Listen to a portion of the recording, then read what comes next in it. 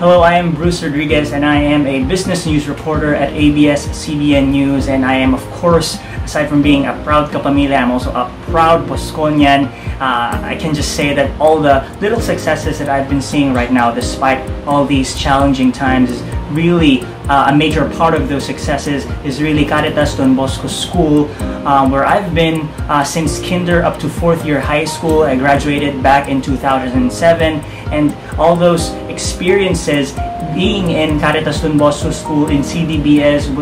really formed uh, a good part, an important part of who I am and who I can be uh, up until now. All those learnings, all those experiences, all the knowledge, wisdom, as well as of course the good attitudes and the good values that I've learned in my at my stay during my stay in CDBS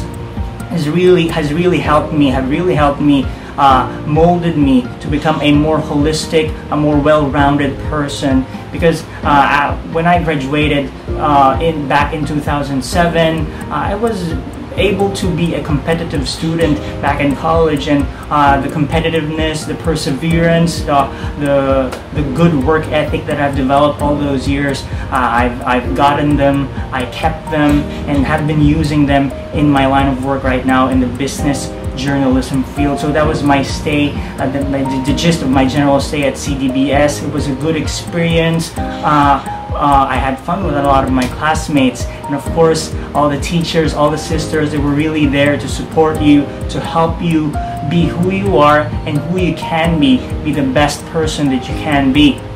And so what is the edge of being a Caritas Bosconian? Well for me, uh, as I mentioned earlier, it's really about uh, not just about those uh, not just about the knowledge that you learn the lessons that you learn but also all those uh, values that were uh, that were uh, that were inculcated to us that were taught to us all those years of uh, having weekly masses having retreats recollections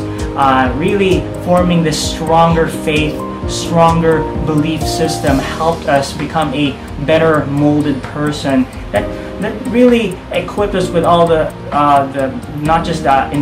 not just the IQ but also the emotional quotient that we need uh, this, uh, that we need to survive that we need to be a successful uh, professional in the real world. So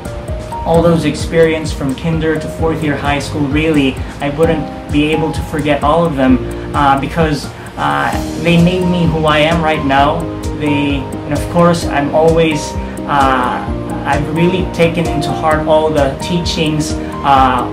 from uh, Saint John Bosco. Of course that uh, at its core really it's servant leadership that despite wherever